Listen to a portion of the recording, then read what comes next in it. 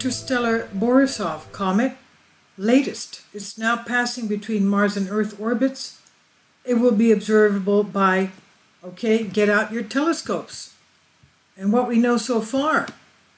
As we know, this was discovered, shockingly, by an amateur astronomer, not by uh, any uh, space agencies, NASA, ESA, or whatever. It's an interstellar comet.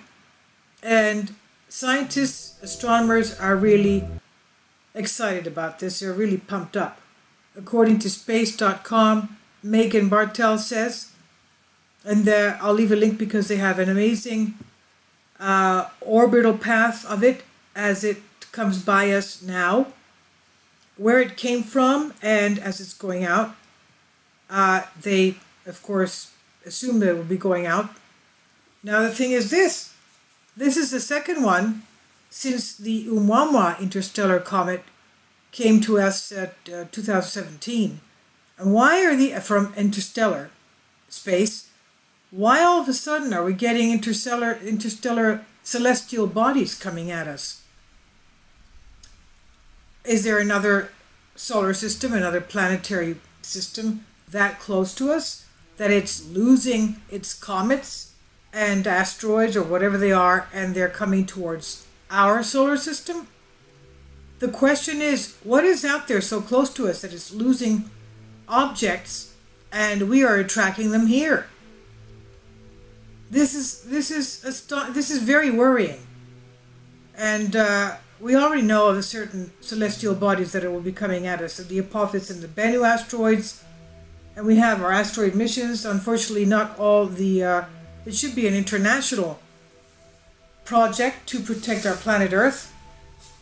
It isn't, unfortunately, and this is just one more reminder that that should be the priority of Earth. Really. Now, Karen Meech would not credit Comet C219Q4 with good timing, but when astronomer has a chance to study this first known interstellar comet, then, of course, uh, it calls for major conferences.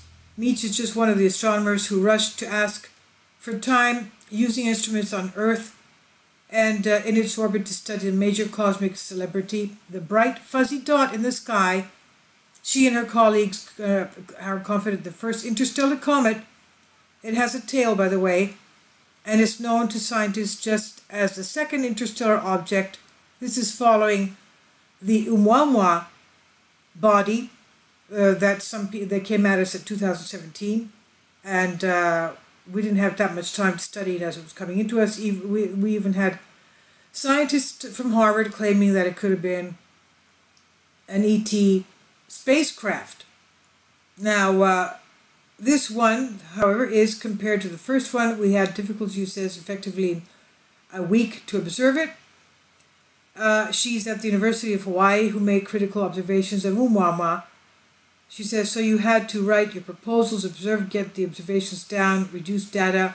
We managed to pull together a paper in a week, but this one we have luxury and lots of time. So the C219Q4 is this one here, the Borisov comet. Borisov is the man who, um, in, on August 30th, Gennady, Gennady Borisov, with his small telescope, trained at the horizon, close to the sun, saw this coming in. He's from Crimea, and that's where he spotted it. Is perhaps the first irony of eagerly awaiting interstellar object, he says scientists organize surveys searching the skies for such a thing.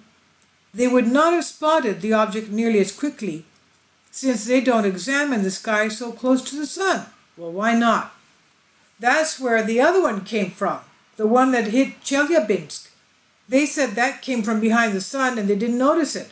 So after Chelyabinsk meteor hit Russia, uh, damaging uh, what 7,000 buildings? No, uh, injuring the 1,500 people, damaging 7,000 buildings broken glass and things.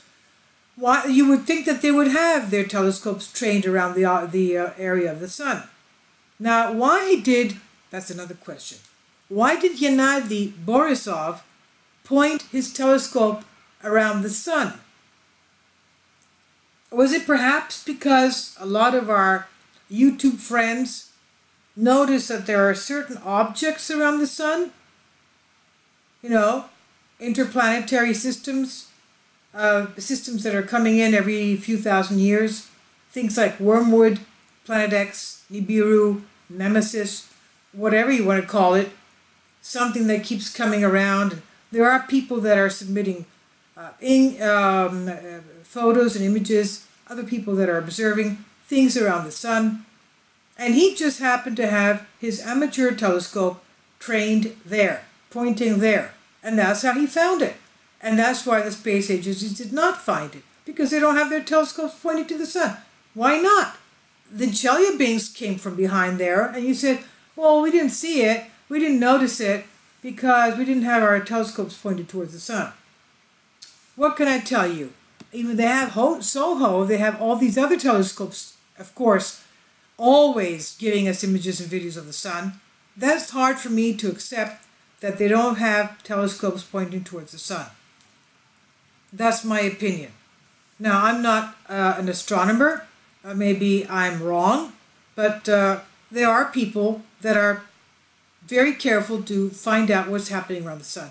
And Gennady Borisov, he got his uh, this interstellar comet uh, named after him. So um, that's why scientists are not able to see these things. But with small telescopes, they say you can point as close to the horizon as you wish. So anyone that has that sort of telescope can easily observe it now because it's now coming between us and Mars. Meech said the really big telescopes that you would want to use to do the science have pretty significant limits of how close the horizon to, uh, to the horizon it can point because they can't move down that way. So many of the big ones can't get to it until, of course, mid to late October. Now, the telescopes in the northern hemisphere will be able to study this comet in January, but by then it will be past us. That's when the southern hemisphere instruments will take over, and by October 2020, it will be nearly impossible to spot this because it'll be speeding past the sun on its way to visit another world.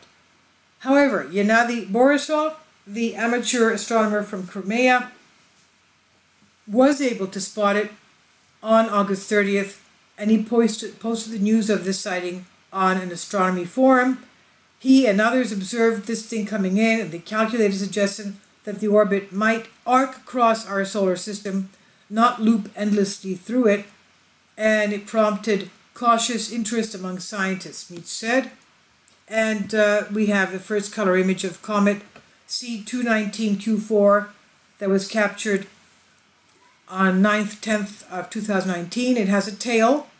It was captured by Gemini Observatory NSF Aura, and thanks to Gennady Borisov, the amateur astronomer, the uh, uh, big uh, space agencies can now image it.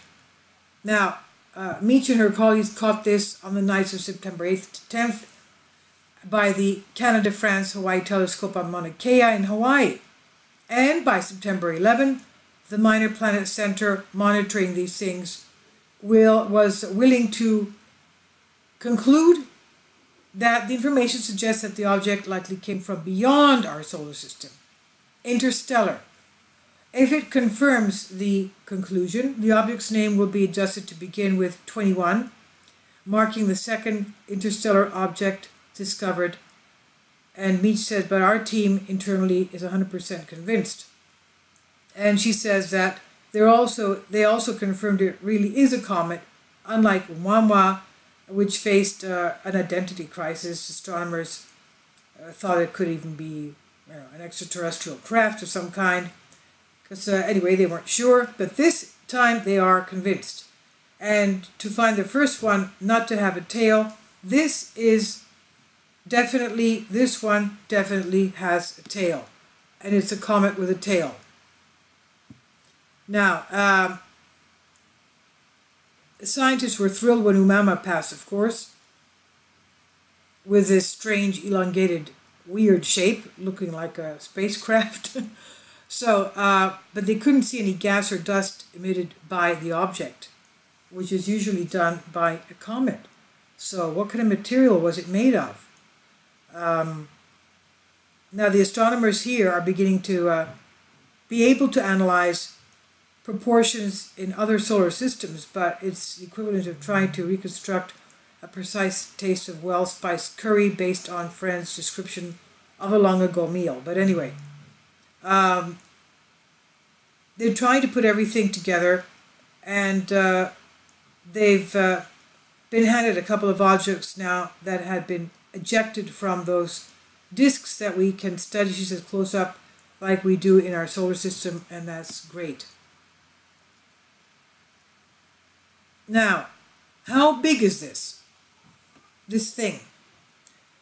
Meech and her colleagues saw the comet's tail, and it stretched for 93,000 miles, that's 150,000 kilometers, into space. But it's more difficult to estimate, estimate the size of this because it's got all this stuff around it dust and uh, debris and everything. And they, you know, it's difficult to measure what exactly is the main body, how big is it. The team made a primary, primarily, primary estimate that the object is between anywhere between 1.2 and 10 miles across. That's 2 to 16 kilometers. That's a big difference, as you can see. And the calculation relies on estimates of brightness of the comet in the images, and they applied a model built on several assumptions having to do with, you know, the tail and everything. So that is a big question, how big it is. Meech said everybody's been scrambling to write pro uh, proposals. We've milked the one data point to death. All right, so I'll leave links below so you can watch the path of this. It's, uh, as we said, the comet tail stretching 93,000 miles, and it's 1.2 to 10 miles across. More of this soon enough.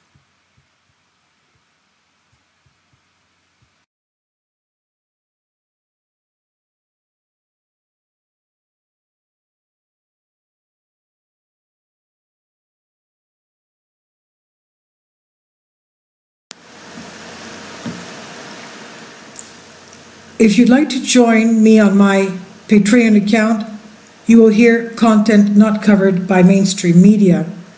These riveting stories will be based on my research, and I will state my opinions and give my personal insight on diverse and controversial subjects and world events, events not covered by mainstream media, and not certainly on not supported by YouTube guidelines. So whatever I have on my Patreon most of those will not be on my YouTube channel. Please consider becoming a member today. More of the, the most significant and important videos will be on my Patreon channel. Your support helps me to continue my research and keeps this YouTube channel alive.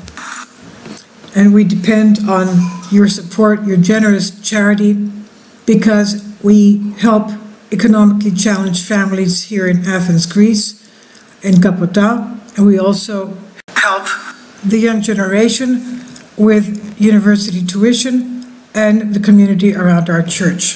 Thank you.